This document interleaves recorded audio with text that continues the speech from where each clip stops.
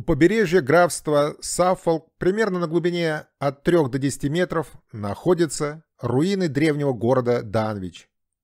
Маленький населенный пункт с одноименным названием и сегодня существует на английском берегу, но его население не превышает и 120 человек. Сегодня это лишь небольшая бедная, богом забытая деревушка. Но согласно имеющимся историческим сведениям, в XIII веке Данвич был одним из самых крупных и древних портовых городов Англии и своими размерами не уступал Лондону. Город суши защищали каменные стены с глубоким рвом. Историки называют этот город бывшей столицей Восточной Англии. Короче, средневековый город Данвич процветал и развивался стремительно. Но в XIV веке столица Восточной Англии вдруг неожиданно исчезла. И причиной исчезновения крупнейшего города Англии это немногочисленные средневековые разрушительные войны, как это часто бывало с другими древними городами Европы и Азии. По официальной истории причиной упадка и исчезновения города стала якобы череда сильных штормов XIII-XIV веков, по неизвестной причине обрушившихся на восточное побережье Англии. Мол, сильный шторм в 1347 году буквально смыл около 400 домов в море, а шторм 1362 года окончательно уничтожил остальную часть Данвича. Оставшиеся в живых жители города не стали больше восстанавливать город и покинули это проклятое место. Так, по официальной истории, во второй половине XIV века древнейший город Англии якобы и исчез с карт мира. Вместо города сегодня осталась лишь маленькая деревушка. Нелепее объяснение гибели города официальная наука не смогла придумать. Да, штормы и ураганы действительно могут способствовать сильному наводнению реально могут размыть побережье, разрушить или буквально смыть все постройки в океан или занести город песком и илом. Но данный город не просто был смыт или разрушен гигантской волной. Нет. Город не смыло в море, он буквально ушел под воду на десятки метров. Проще говоря, уровень воды у побережья Англии неожиданно поднялся настолько высоко, что почти весь город Данвич просто в одночасье оказался под водой. Причем многие постройки города, и это важно, обнаруженные в начале 21 века под водой, не уничтожены, разрушены, а именно затоплены. Повторю, город не смыло, как утверждают историки. Он быстро ушел под воду. Каменные дома, монастыри, церкви или крепости нельзя смыть в море. Это вам не селевой поток с гор. Стены каменных домов можно разрушить огромной волной, но толстые стены крепостей и монастырей практически невозможно. Да и глубокие фундаменты все равно останутся. А тут якобы все смыло в море и ничего не осталось. Это байка. Поскольку у побережья вода очень мутная, водолазы проекта Данвич в 2008 году для съемки морского дна на всей территории затонувшего города использовали многолучевые гидролокаторы и гидролокаторы бокового обзора. Для дальнейшей работы в 2010 году совместно с ВВС использовались новые камеры акустической визуализации, чтобы снимать руины сквозь мутную воду. На первом этапе исследования они обнаружили многочисленные очертания корпусов затопленных кораблей в порту и несколько разрушенных построек, в том числе четыре церкви и здание таможни. На одном из снимков отчетливо видно, что сквозь ил с песком выступает даже шпиль затонувшей церкви. На следующих этапах были обнаружены сотни очертаний разрушенных каменных домов, простых жителей города, дворцы знати, многочисленные мастерские и огромное нагромождение каменных обработанных блоков набережной и местного порта. Если бы все эти жилые здания, церкви просто смыло бы в море вместе с береговой линией, как уверяют историки, то на дне водолазы обнаружили бы в лучшем случае только груду камней вперемешку с песком, худшем случае ничего.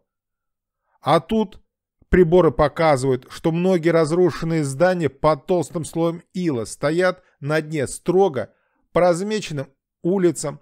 Церкви возвышаются на площадях там, где стояли и до катастрофы.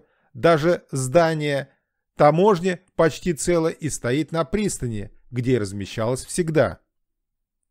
Английский эксперт по прибрежным исследованиям Питер Мерфи заявил, «Мы думали, что древний город Данвич просто смыло штормом, и от него ничего не осталось. Но все были удивлены тем, что некая часть разрушенного города все еще цела под водой и может быть идентифицирована.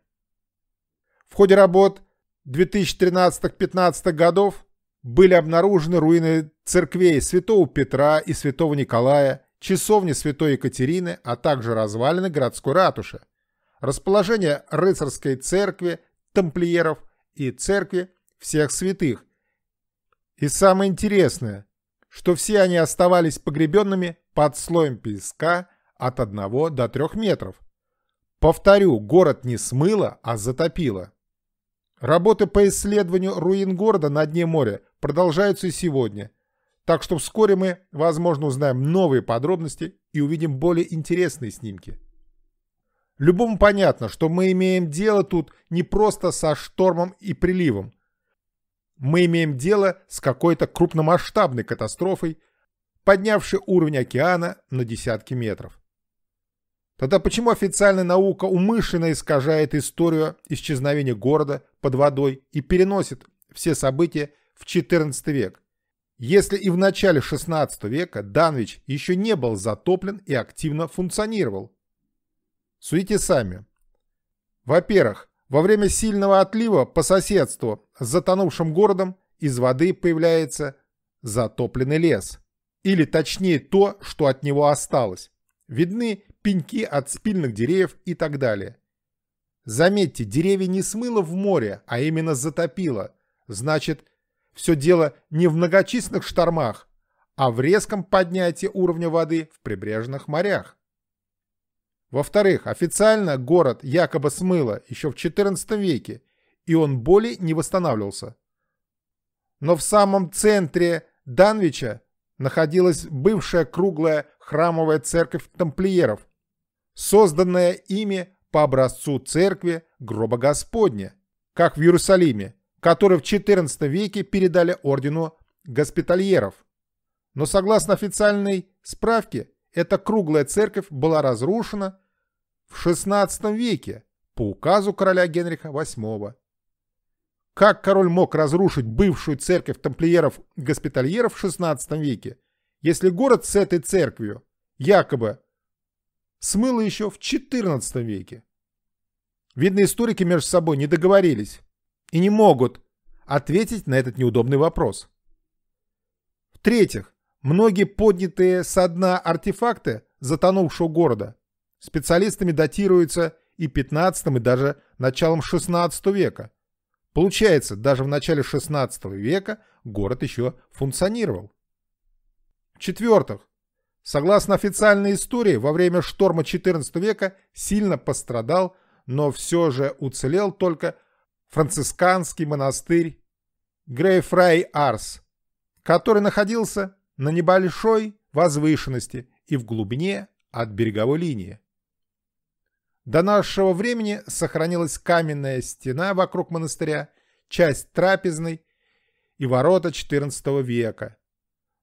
Но по той же официальной справке в 1538 году этот монастырь был повторно разрушен по приказу короля Генриха VIII, а по моей версии монастырь, как и весь город, уничтожила мировая катастрофа 1538 года, о которой у меня на канале много информации.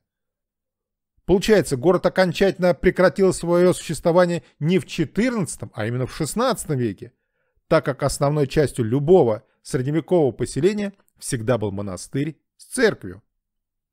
И последнее. На всех картах Англии XVI века город Данвич еще обозначен. Смотрите сами.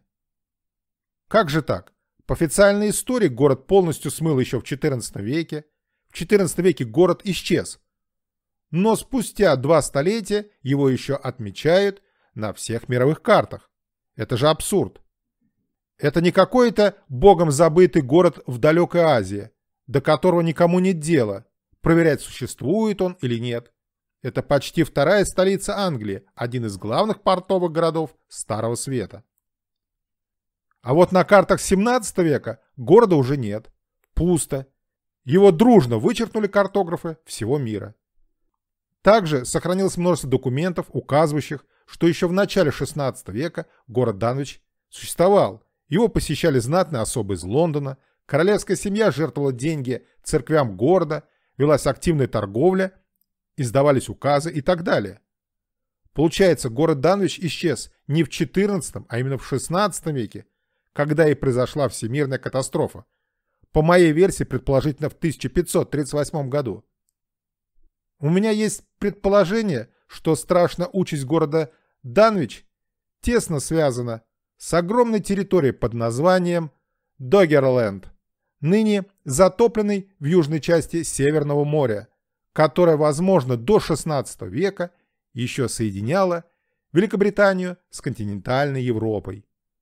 Но об этом я расскажу в отдельном видео.